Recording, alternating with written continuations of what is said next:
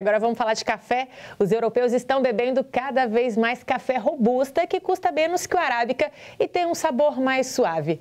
A redução desse produto pelo mundo ajuda o café brasileiro. A gente vai entender como está essa situação com a nossa equipe lá no sul de Minas Gerais.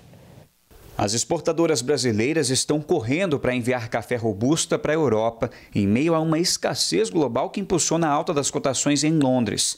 As tradings começaram a embarcar cargas de robusta, variedade usada nos cafés solúveis, para armazéns europeus. Isso vai permitir que entreguem o café aos compradores de futuros em Londres.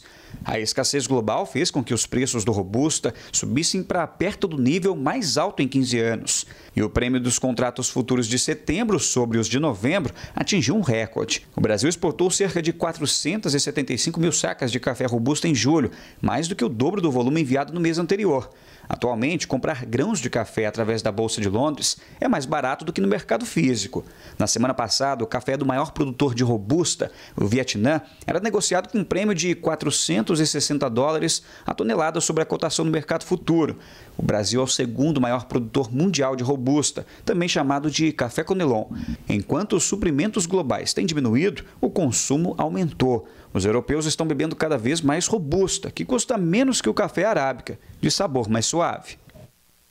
E o nosso café tem muita qualidade, né?